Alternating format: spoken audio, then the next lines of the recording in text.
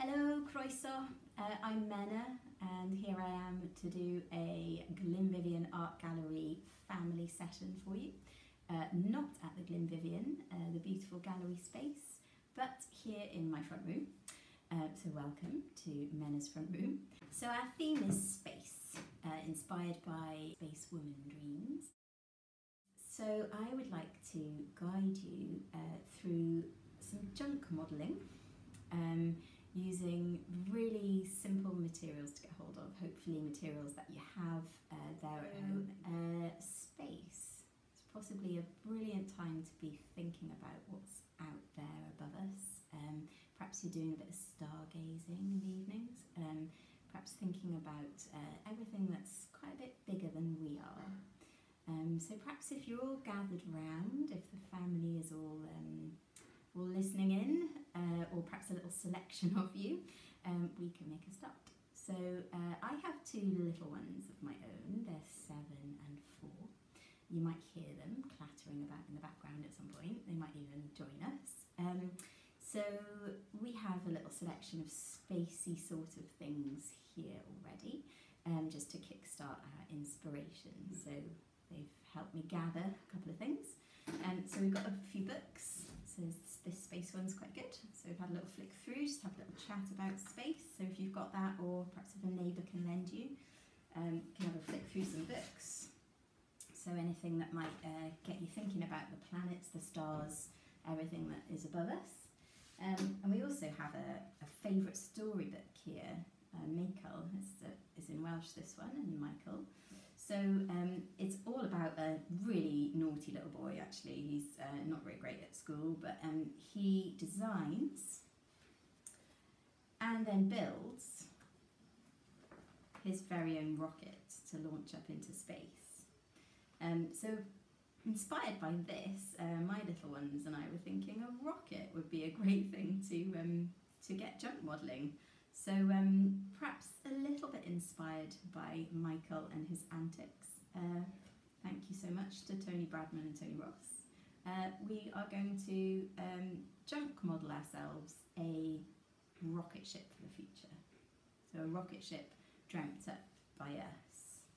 So um, just to get going, you might need a few days worth of um, junk uh, in order to, to build um, various shapes of rocket base. Um, so I've been collecting, great thing to do in lockdown. So I've been collecting um, a few, few sort of bits and bobs here. So there's a box of things saved from the recycling bin. Um, but I'm just going to point out a couple of things to recommend uh, for or against on the junk that you acquire. So um, you can use many different types of card, but this thickness of card, which is generally this kind of cereal box grade, is absolutely going to be serving you the best because it's pretty nice and thin and any kind of scissors can get through it.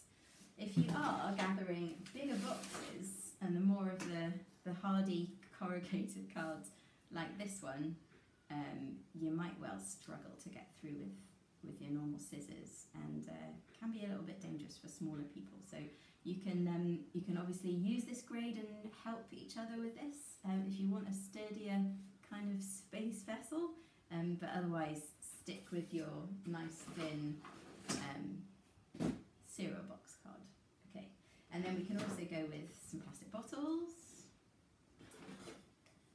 uh, rolls, kitchen roll or toilet toilet roll. We might have a few of these hanging around. Um, also plastic bottles like uh, honey bottle sort of shapes.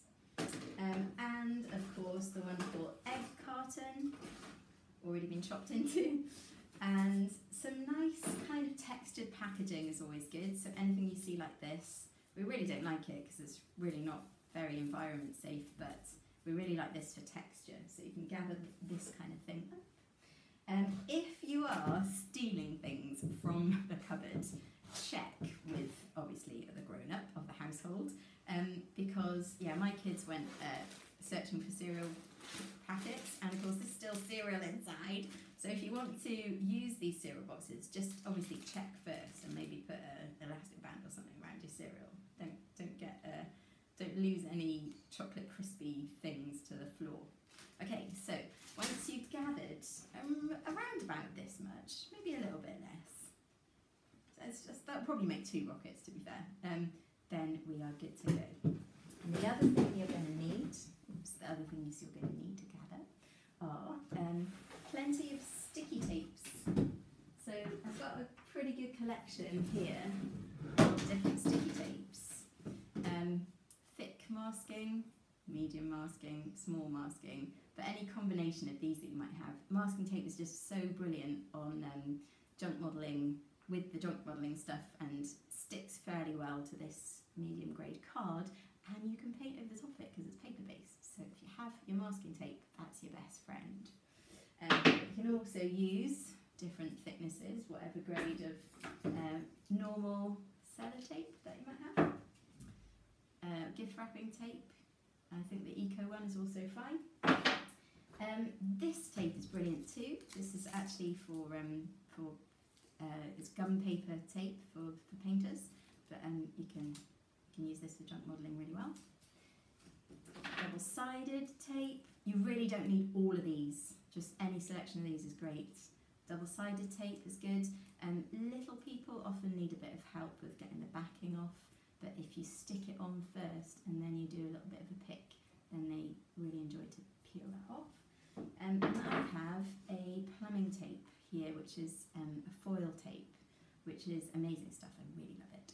Um, so if you have any of that banging around, that is also really fun to use for this, especially with our space theme.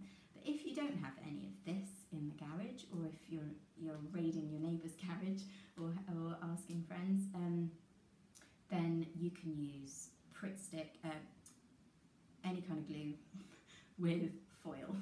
So that also works. So you can use a foil-based tape or with glue. So that's pretty much all you need, apart from, of course, your scissors. And there's a bit of a selection of scissors to show you. And maybe you're going to want to use your glue gun. If you're going to use your glue gun, please ask for help. Um, and we're going to need some scissors here. So we've got some toddler scissors, just to show you that they will, good old um, plastic toddler scissors will cut through your cereal box card.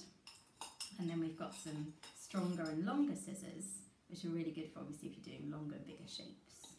So um, just go for it and gather your scissors.